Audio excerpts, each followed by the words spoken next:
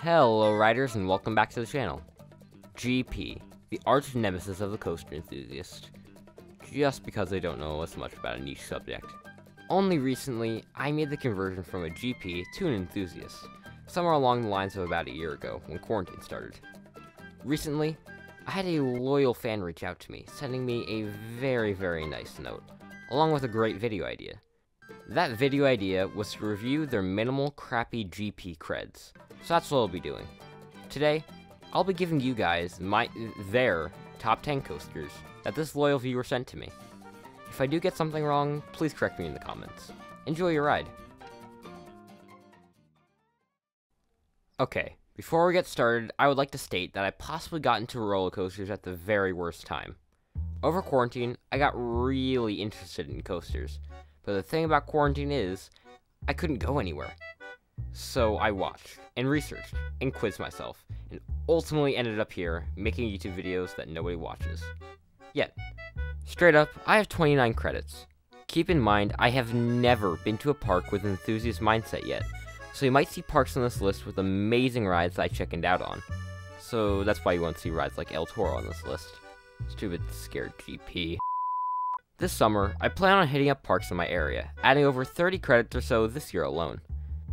On my list of 29, there are 7 different parks in 3 different states, and a whole lot of regret and missed opportunities. Let's get started with the honorable mentions. Skull Mountain at Six Flags Great Adventure. This ride is pretty good. It's a great first drop, and then an okay rest of the ride. Had a ride in 2018 where a party behind was screaming Rick Astley the entire time. Weird.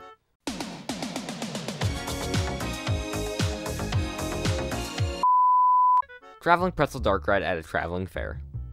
I rode this ride at a little county fair, and let me tell you, this thing whips. Just imagine Devil's Den, but the hairpin turns feel like a car crash. Number 10. Big Thunder Mountain Railroad at Walt Disney World. Ah yes, the GP has been to Disney World. Surprise, surprise. This is showing you the quality of these coasters on this list. Not saying that Big Thunder Mountain is bad, but it really isn't the most thrilling coaster out there. To be fair, it does exactly what it needs to do, and that's deliver a somewhat exciting experience to a park that has an overwhelming majority of families. The theming is impeccable compared to a lot of the other rides on this list, with interactive and unique elements and highly themed near misses. There isn't much force in this ride and barely any airtime beyond the drop, but still a great ride for what it is. Number 9. Green Lantern First Flight at Six Flags Great Adventure. Six Flags Great Adventure is one of the seven parks my GP self had been to, and I remember this ride vividly. Specifically, how uncomfortable and boring the ride is. For the uneducated, this was formerly Chang at Six Flags Kentucky Kingdom, but was relocated to Great Adventure as Green Lantern First Flight in 2011. And yeah, should have stayed over there. They could have used it so much more than us. For my rides in 2019, I remember it not being too noticeably rough, but oh my god was it uncomfortable. This is a B&M stand-up coaster, so the restraints have you in a standing up position. This involves an over-the-shoulder restraint, and what I'd like to dub the crotch rock. This sits right between your legs, and if you catch it weird on the mostly okay inversions and the okay drop, it's a world of pain I didn't even know you could feel on a roller coaster. But still, overall, it was pretty okay, with decent versions. I'm praying for this ride to get the floorless treatment, as I would probably enjoy this ride way more. Although, there is a floorless in the park already with Bizarro, uh, oh well. Number 8. Oscar's Wacky Taxi at Sesame Place. Oh my god, you will not find a bigger Wacky Taxi fan than me. Oh my god, this ride was so good. It was unexpected, but like there's airtime and forces, but so short. Oh my god. Seriously though, this ride is jam-packed with good elements. It's just so, so short, only about 30 seconds long. It isn't much of a problem though, as the line never beyond 10 to 15 minutes, so you can always hop right back in in a jiffy. There are two great ejector moments on this ride, and it was the first ride I really marathoned with friends. Overall, it's just so good. Number 7. Expedition Everest at Disney's Animal Kingdom. Okay, hear me out. I'm a sucker for theming. This ride is a banger attraction, and going through some of these elements in the dark is a really, really fun experience. Unfortunately, a lot of the outdoor sections aren't the most thrilling, as they kind of meander through the layout, but that's just my opinion. Now to the theming. Disney theming is always next level stuff. This coaster is themed to the mythical Yeti, and the queue is the base camp of Mount Everest, which is so interesting to look at and find the small knickknacks and papers that add to the story and experience. But the theming on ride isn't my favorite. The two moments I'm talking about are the iconic ripped up track scene and the projection screen. These kill the pacing for me, even though the ride doesn't truly start until the first show scene. That's a minor gripe for a great ride. Number 6. Batman the Ride at Six Flags Great Adventure. Heading back to Great Adventure, we're talking about Batman. The original invert, well, the original invert's cousin. This ride is honestly underrated, being dubbed the least of the inverts. While that may be true, it doesn't mean that's bad by any means. It's just, you know, it's there in the invert club. This ride's drop is great, and a lot of forces are persistent throughout the ride. A lot of the inversions I feel are fairly intense, nothing insane, but you'll still feel it. It's that consistency that I love, and you'll see that shine throughout the rest of this list, but Batman isn't terrible. Number 5. Twister at Knoebels. Twister at Knoebels is a slept-on ride, probably because it's at the same park as that thing, but make no mistake, this ride keeps true to its name.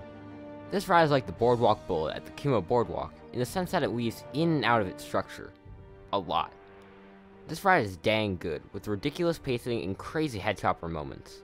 The reason it's at number 5 though, is because there is little, if any, airtime. That really isn't the most important thing for this ride, as its strengths really outweigh its weaknesses, with crazy speed and high forces. Number 4. Superman Ultimate Flight at Six Flags Great Adventure. Great Adventure. Hello again.